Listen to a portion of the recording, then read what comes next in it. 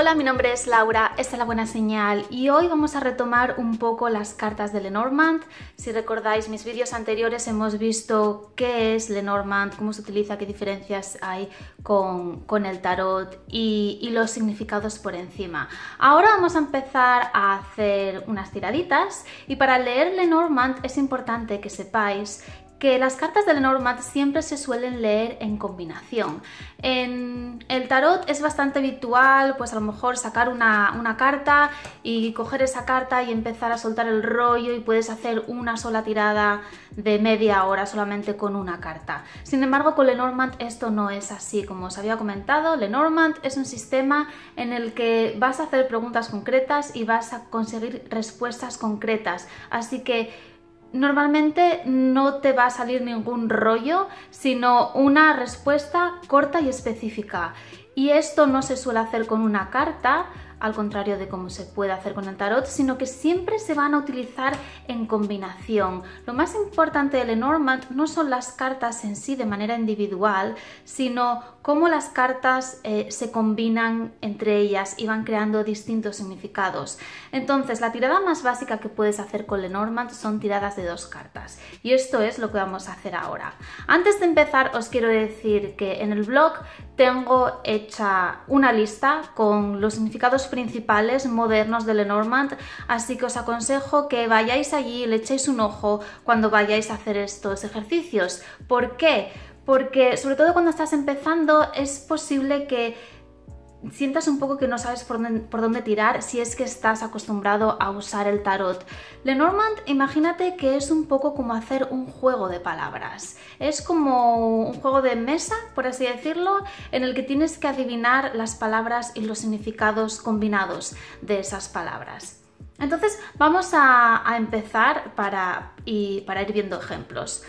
Lenormand siempre se lee de izquierda a derecha, como te decía, es como un juego de palabras y se lee como si fuese una frase.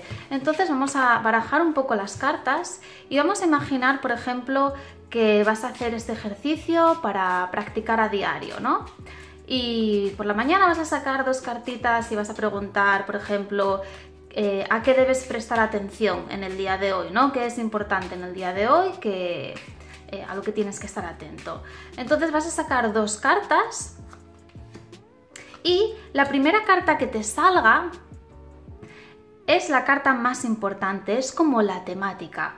Y la segunda carta va a ser algo sobre esta primera carta, algo descriptivo de la primera, o dicho de otra manera, es como si fuese la primera carta un nombre y la segunda carta un adjetivo, algo que describa la primera. Entonces tenemos, por ejemplo, aquí en esta tirada nos ha salido la primera carta, el, el zorro. Y en la corriente que yo sigo, la carta del zorro es la carta del trabajo. Entonces te está diciendo que prestes atención, hoy es importante que prestes atención a algo del trabajo. ¿Y qué, eh, y, qué del trabajo? ¿no? Porque el trabajo es algo muy amplio. Pues esta carta te está dando información adicional. Y esta carta del, del perro muy habitualmente nos suele hablar de un amigo. Entonces esta es una persona del trabajo. Hoy presta atención a una persona del trabajo o a un amigo que tienes en el trabajo o a una persona que te va a dar algún tipo de apoyo en el trabajo. ¿sí? Vamos a probar a sacar otra carta distinta que acompaña al zorro para que veáis cómo la descripción puede modificar el mensaje completamente.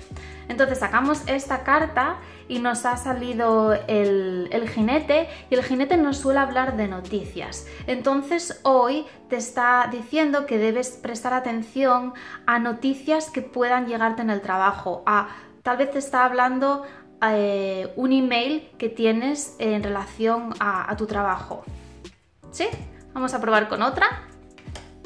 Procurando no tirar el tenderete que tengo aquí. y nos sale la carta del barco.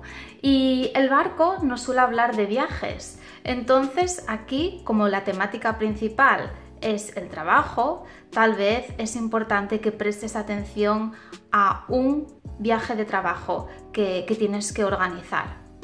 O, que, o, tal vez hoy tienes que hacer un viaje de trabajo y eso es eh, lo importante. O tal vez sea relevante eh, que prestes atención al medio de transporte que utilizas para ir a trabajar. Sí, vamos a probar con dos cartas distintas para que veáis ejemplos. Nos ha salido el ramo y el ramo nos habla de algún tipo de regalo, por ejemplo. Entonces, ¿qué regalo puede ser importante hoy?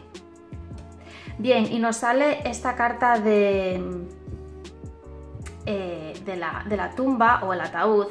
Y normalmente em, cuando leemos las cartas suele ser importante el orden en el que salgan las cartas, porque como os decía, la carta primera es la temática principal y esta es el adjetivo. En general no se lee, no se lee igual esto que esto. El significado podría ser distinto. Entonces, aquí tenemos un regalo que llega a su fin de alguna manera. Tal vez, imagínate que eh, durante todo este mes has contratado algo, has contratado una nueva línea de teléfono y, y este mes eh, ese, mes gratis que te han regalado durante el primer año de contratación, tenías un mes gratis y, va a llegar a su fin. Entonces tienes que ser consciente que si quieres seguir con esa compañía, eh, ahora vas a empezar a pagar más, por ejemplo. Sin embargo, si esto fuese al revés, podría ser que alguien te vaya a hacer algún tipo de regalo porque te encuentres mal. Tal vez eh, estés pasando por algún tipo de enfermedad, porque esto podría significar eso también, y, te va a llegar algún tipo de, eh, de muestra de afecto para, para que te recuperes. Es como cuando eh, se tiene esta costumbre de llevar flores al hospital a una persona o tal vez tú tengas que llevarle flores a alguien, a alguien que esté hospitalizado. Tenéis que tener en cuenta que las, las cartas de Lenormand tienen distintos significados, pero aparte de los significados simbólicos que tienen, pueden ser muy literales y es interesante que explores todas estas posibilidades, por eso te aconsejaba que tuvieras al lado tuyo los, distintos significados para que vayas jugando a hacer combinaciones de, palabras. Vamos a sacar otras dos cartitas. Vale, nos sale el hombre. Entonces, cuando te sale la carta del hombre, si tú eres una mujer, está haciendo referencia a un hombre de tu interés o alguien eh, que es importante en tu entorno. Puede ser tu pareja, puede ser tu jefe, puede ser, pues depende de lo que estés preguntando. Y si, tú eres un hombre, esta carta normalmente hace referencia a ti mismo y al revés con la mujer. Bueno, pues aquí nos sale el hombre y la mujer, pues tal vez eh, las cartas te estén diciendo que prestes eh, eh, atención a una pareja que hay en tu entorno o a tu pareja, o que prestes atención a un hombre que tal vez está comprometido con, con una mujer. Vamos a ver otro adjetivo para este hombre. Bien, nos sale aquí la carta de, la llave y nos habla de... Mm, eh, la llave nos suele hablar de alguna solución. Entonces, tal vez hoy es importante que busques a este hombre que te puede dar una solución a algún problema que puedas tener. O, por ejemplo, siendo más literal, esta carta, esta combinación de dos cartas, te podría estar hablando de un cerrajero. Un hombre que abre puertas es un cerrajero. Como os decía, Lenormand es... Eh, no se anda con rodeos, va al grano y es muy útil para, preguntas concretas. El tarot está muy bien para abordar los misterios de la vida, por así decirlo, o, o eventos más, como más amplios, más psicológicos, eh, y sin embargo Lenormand está muy bien para concretar. Cuando una lectura de tarot te resulta un poco vaga y necesitas concretar un poco más, está muy bien que la complementes con, eh, una tirada de, Lenormand. Por ejemplo, aquí tenemos eh, como adjetivo de este hombre la carta del árbol y si vas a tu lista de significados verás que, por ejemplo, la, la palabra principal de árbol para mí es salud.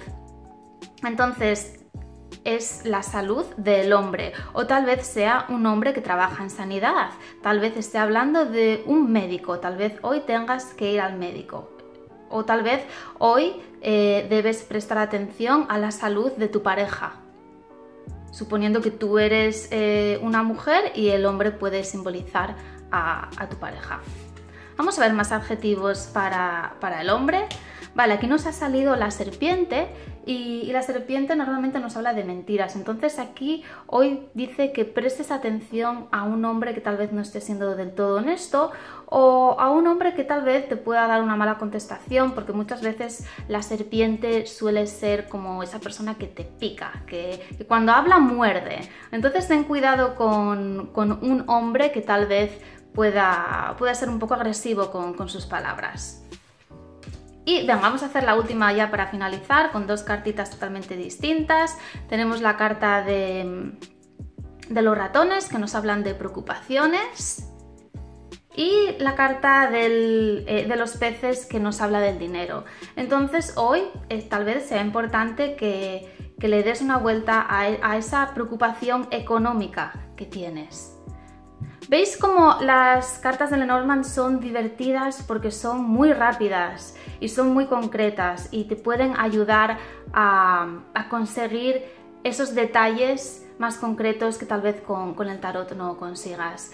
En el próximo vídeo veremos eh, tiradas de tres cartas, pero de momento me gustaría que fueras practicando estas, estas tiraditas de, dos cartas y ir jugando con ellas, ir jugando con, con, las palabras. Si no os viene de manera intuitiva lo que pueda significar la combinación de dos cartas, como os decía, coged esa lista de significados e ir probando a combinar distintos significados de la primera carta y de la segunda. Haced que la primera carta sea un nombre y la segunda sea un adjetivo. Probad a darle la vuelta y ver si tal vez el significado es distinto o cambia.